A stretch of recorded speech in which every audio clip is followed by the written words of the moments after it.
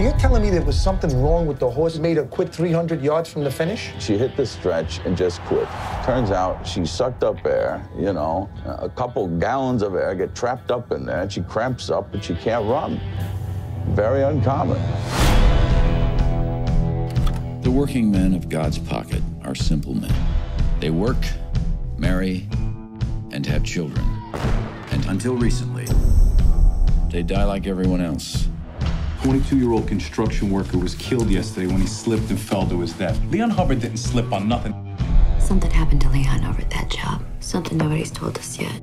I'll see what I can find out. Jeannie's got some idea that something else happened on that to Leon. I was hoping you could ask around for me. I mean, you want me to talk this out? I just want to make Jeannie feel better.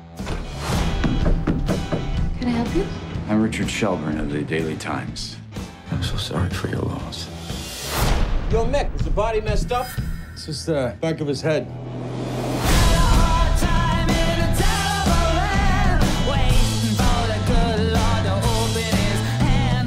What I did has nothing to do with you. And what you got to worry about is making sure that everything is all right, and then you get your money.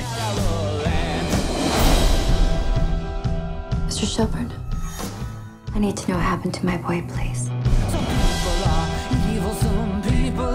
Why did they find his body in the street, Mickey? Leon was in the truck. With the meat.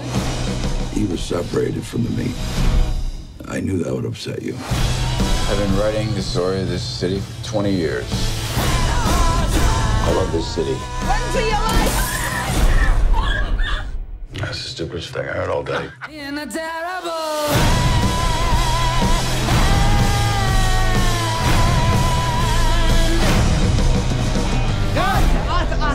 I'll you! Stop, stop, Arthur. You're getting, Yeah. you're getting blood all over your pants.